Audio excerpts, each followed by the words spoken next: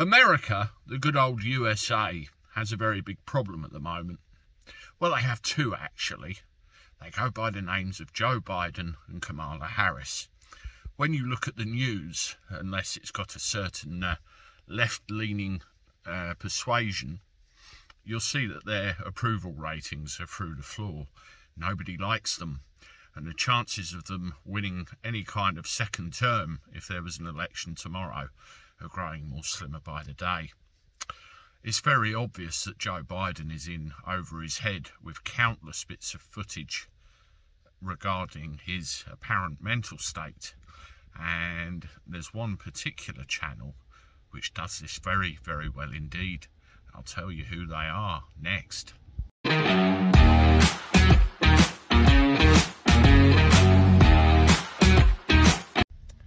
How do everyone? Welcome back to the channel for a Monday. Hope you're doing all right.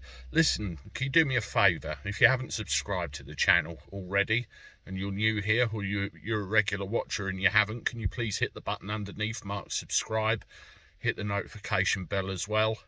And uh, that way you're on the channel and you'll be notified every time I put something else up. Also give the video a like as well. You know what? Joe Biden the more and more and more footage I watch, the more and more I become concerned. You know, we had this whole get rid of Trump routine.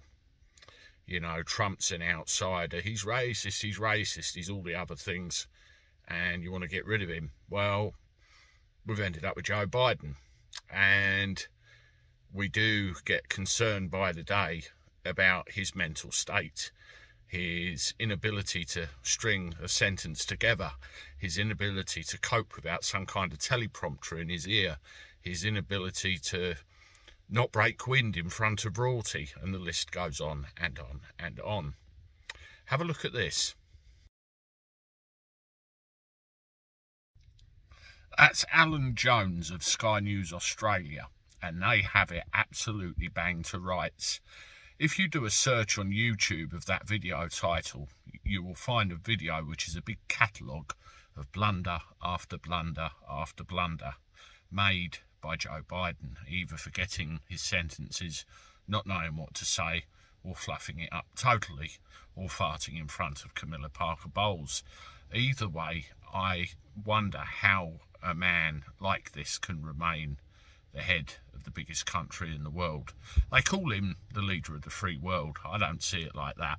I see it, he's the president of the United States and they're in a whole world of trouble. I can't see how this facade could continue for any longer. I genuinely don't think that he will last till 2024. I think there will be some kind of medical uh, dilemma, which means he would have to stand down and someone will have to go in his place, be that Kamala Harris or anybody else. But hell, what do I know? It just concerns me. The more I read about this, I wonder if something accidental may happen someday and he will be the one solely responsible. Let me know what you think, particularly if you're in America. I've put this video out at a time of day where I hope uh, uh, some more Americans see it. Definitely interested in your point of view. Are you a Trump fan? Do you want him back in 2024? I know a lot of you are. Or if you're not, who do you want in his place? But this Joe Biden fiasco, is, it's got to end. If not for his own health and welfare, for everybody else's. This is a Gabby Cabby for now, signing off. Toodaloo.